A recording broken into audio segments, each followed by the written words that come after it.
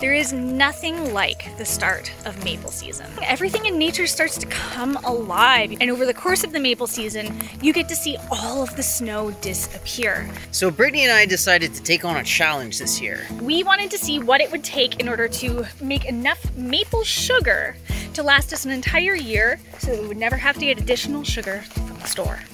So a few years back, when we were on a permaculture and indigenous knowledge exchange on Manitoulin Island, we learned from the local folks over there that the indigenous ancestors were typically not stopping the process of maple sugaring at just making maple syrup. In fact, they would make maple sugar. So there's actually a lot of additional benefits to creating sugar instead of syrup. Number one, it weighs an awful lot less. And if you've ever had to carry your own food, you know that every ounce counts. That's amazing, it rhymes. If you think about it, there's only so many ways that you can transport a liquid. You have to have very specialized containers, many mm -hmm. of mm-hmm. which risk breaking. It's risky.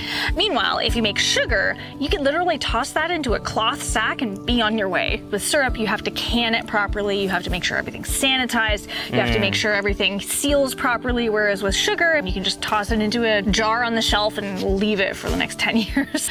Um, and... So it has a longer shelf life? Yes. Got it. Cool. What's next? So if we were wanting to see how much maple sugar we would need to produce in order to go a whole year without having to buy any sugar from the store, we're gonna have to do a little math. Of course, it's very difficult for us to determine how much we might use in an average week because we've never actually measured or calculated that before. Depends on the week. Is it a birthday week? We decided to go for approximately one cup a week. That means 52 cups in a year, which translates into 13 liters of sugar. The big question question for us then is how many trees? Many of us know that there's the magic ratio of 40 to 1 sap to syrup. You cannot predict the weather, and mm -hmm. the mm-hmm. trees are really weather specific. And so our neighbor suggested that we do somewhere between 100 and 150 taps, and we decided to split the difference uh, minus one and do 124 taps. It looks like our fire is down to coals. Lovely. Good time for us to start mixing our cake. Ooh, the exciting part.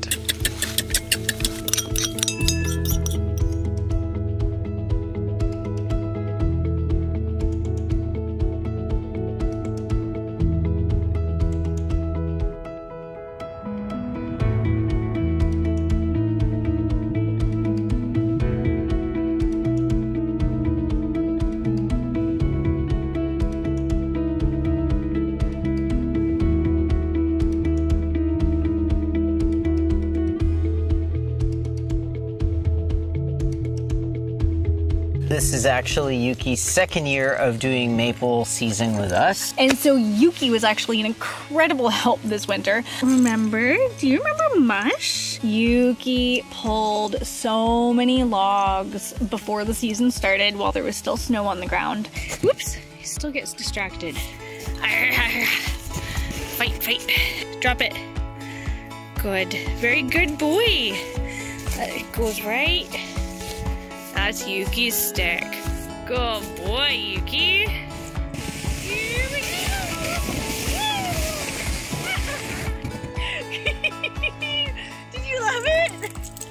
He seemed to feel pretty proud of himself. We were also gathering all of the sap the old, old-fashioned way, meaning on two legs, with buckets going up and down the different terrain. It was lovely, it was uneven, Exhausting it was hard work, a lot of work. But you know you're working for your sugar. We did not have any rain guards above the buckets. Yes. Speaking of rain guards, there's an unexpected other benefit for them. Oh, the worms. Yeah. Very, very strange. As we're going around gathering the buckets, we noticed a random worm in the bottom of a bucket here, a random worm in the bottom of the bucket there. The question that we both had was, how the heck does a worm get up a tree? Where do the worms come from? And so because we did end up having leaves and insects and worms in the buckets, as we were pouring our sap into the storage containers, we made sure to have some kind of filter cloth there. And so for storage barrels, we used some old food grade containers that were transformed into rain barrels. Brittany put one higher up on the hill, and then we would have a hose going down the hill and we could turn this on and off. Thank you, gravity, you rock. And so, of course, after we collected a few days worth of sap, it was time to boil it off. We have our sap in this evaporator. We got our fire that's starting below. It has been raining, pressure is low. The fire is gonna be a little bit harder to get going, but we really gotta get this sap boiling because we don't want it to go bad. All right, so we got our fire going. As you can see, we're starting to get some steam on the top. This should be at a boil soon. I was expecting we are gonna have a really hard time. One of those fire won't start kind of days. And so the purpose of the fire reflecting wall is to reflect the heat back underneath the evaporator. This serves a second function as well of helping to dry out these pieces of wood since it's been raining quite a bit. Now it looks like this is starting to boil, so I'm gonna take care of this. So what I'm doing here is I'm skimming the top of this foamy scum. It's a little technique from our neighbor, just using a regular kitchen strainer here. I find it actually quite relaxing.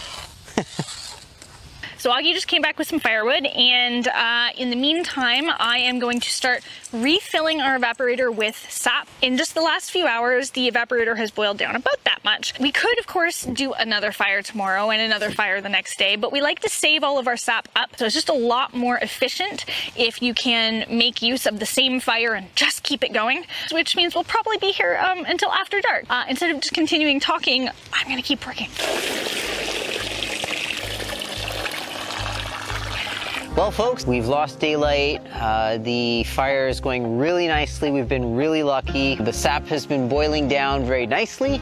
Let me show you here where we're at. It is almost down and ready to take off. So we'll be doing that shortly. After we boiled all the sap down into syrup, it was time to make sugar. And so since we were feeling a little bit nervous about doing the whole sugaring process ourselves this time, we were able to watch our neighbor go through the process along with another local family. He's been doing this since the 70s and therefore just like a good cast iron pan, he is very well seasoned. we used uh, what our neighbor John calls the sugaring paddle and basically you keep stirring through the syrup as it's evaporating. The color, at first it is kind of a, a dark brown, very, very dark. As it starts boiling, it starts getting lighter and lighter and eventually it turns into this kind of almost golden brown. You know that the pan is ready to take off the fire when as you are pushing the paddle through, it starts creating streaks and you can also see the bottom of the pan. You absolutely want to make sure that you continue working it while it's warm. Otherwise, these clumps right here will become rock solid. You'll end up with a really lovely consistency that's very, very, very similar to moist brown sugar. Physically, you feel it at the end of the day. It's also a very satisfying sensory experience. After going through it another time with our neighbor, we felt a little more confident to attempt this by ourselves. Okay, let's check it out. This is a pretty budget job. It's not as pretty as I was hoping, but hey, we're in the bush. Brittany, happy birthday. Mmm. okay, so in the end of the day, how much sugar did we get? 20 liters of sugar. Which means that if Brit's calculations are correct, we should have enough sugar for the year and enough to trade and share the surplus. Augie, you know would be really good with this? Maple, Maple coffee. coffee. Check out this video on the left. And if you're interested in taking a look at Yuki's progress in learning to be a sled dog this winter, I would recommend checking this video on the right. If any of you folks happen to know what the heck is up with the worms in the bottom of the sap bucket, please do let us know.